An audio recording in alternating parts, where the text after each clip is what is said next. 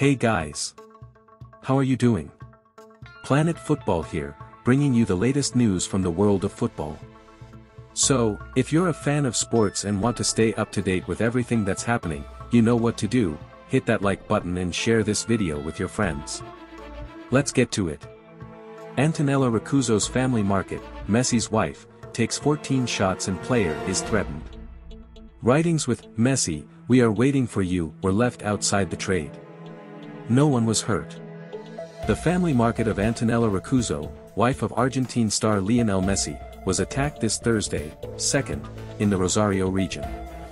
The site was targeted with 14 shots during the early morning.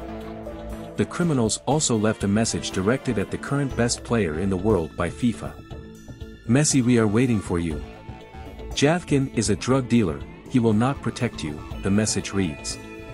This is a reference to Pablo Javkin, mayor of Rosario, considered the most dangerous city in the South American country because violent drug gangs operate there. Police sources informed the Argentine newspaper, Clarín, that the suspects threw a piece of cardboard on the street containing the phrase that mentioned Messi and Pablo Javkin. Recently, Javkin has repeatedly spoken out about the lack of police officers in the city. According to him, this is one of the main reasons for the increase in drug trafficking and crime in the region. The Argentine star was born in the city of Rosario and returns there during his visits to Argentina.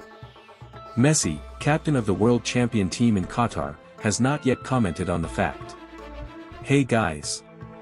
What did you think about today's news? Let us know in the comments. We want to hear everyone's opinion on the topics we covered. And don't forget to leave a like and share the video with your friends who are also football fans. See you next time.